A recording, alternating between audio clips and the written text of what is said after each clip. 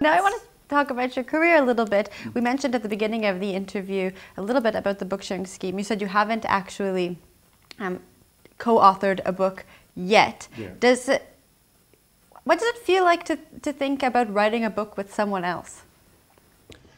Uh, it's a, it's a new departure. It's a new experience. Um, I think it'll be.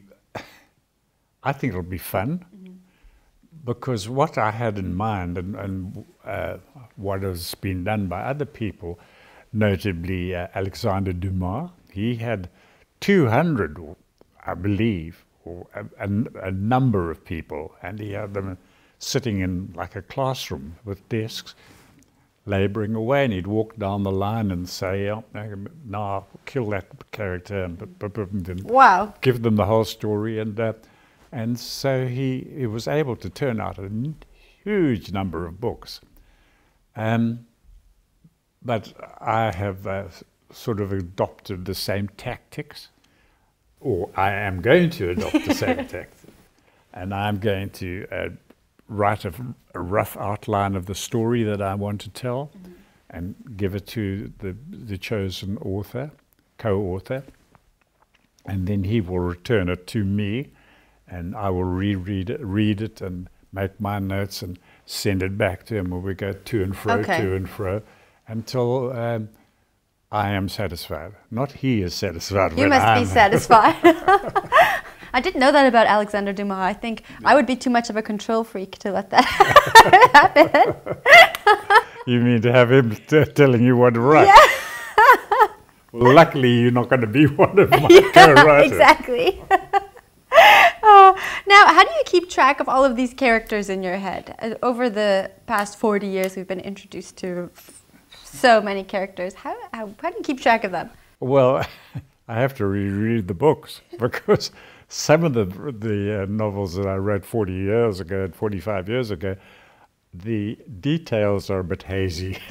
I can imagine. lost in the mist of time. So I go back to, and reread them, Mm-hmm. and uh, and uh, and it's it's a it's a, a wonderful experience doing that because you have you look you read something and you think, did I write that? Mm-hmm. God, that is just so poor. Well, that was my next question. Do you ever think, gosh, I can't believe that thought- I wrote this and That- people read right. it? But other, other, you read another section and you think, that's genius, sheer genius. So the, it's a mixture of the two. Yeah. Now, I want to talk about your career. I know over the years there have been some, you've had a huge amount of fans and some critics. Do you, have, do you ever go back and think, I wish I said this to the critics? Uh, no, really, what I like to do is just pretend the critics don't exist.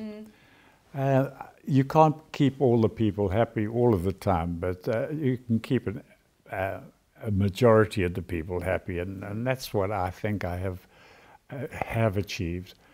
Um, you know, the world of books is, seems to be divided into the literary establishment and into the storytellers, and I belong to the storytellers, and um, and so I don't take flack from the other side. Yeah. When when the the verbal bombshells come over, I just keep my head down and continue with what I'm doing. Well, that's a good way of looking at it.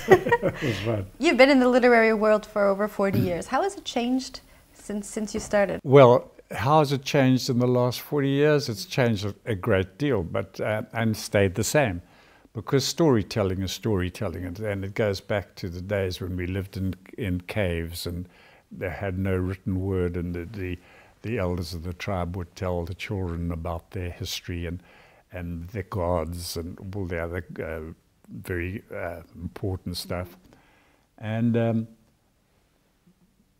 so the, it's the same thing. It's telling stories, but the stories, are, of course, change their substance, and um, uh, it's it's fascinating to do it and to read the uh, stories written hundred or two hundred years ago. Are really, it's it's the world changes all the time, but the more it changes, the more it stays the same. Yeah.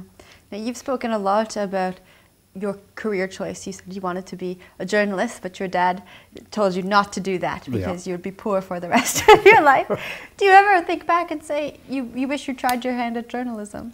No, I, am I'm, I'm glad I decided on, with a little help from my dad, uh, on what to do with my life, and um, and I stuck to it. And um, some poor benighted publishers have actually paid me for doing it, which has been the best part of the fun. Sounds like you have the best job in the world. I think I'm, I'm, I'm up there with the best jobs in the world. Now, if you had to look back over the past 40 years, what would you say your most memorable moment or career highlight was?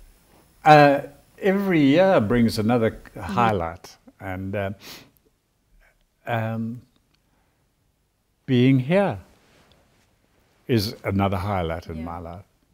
So it's it's all exciting, and it, sometimes it gets too exciting. So I go away and lock the door and write another book. Has there ever been a really low moment in your career? Oh, sure, mm. it always is. Um, uh, I would say the lowest is some of the, my um, amateur experiences. Some I've been married four times, and I've had two good marriages and two utter stinking marriages. So uh, that's, that's, the lowest and the highest. Oh, that's life. Uh, and now you have a great one. yes, I have a tremendous one. Yeah. All right. Now, before I let you go, why don't you tell us what kind of adventure we can expect from Desert God? Read it. I'm not going to tell it to you. Okay. I, I, I spent a lot of time writing it down. Now you jolly will read it. Thank you so much for sitting down with us, Wilbur. I hope you enjoy the rest of your time here in South Africa. Thank you very much, Jane.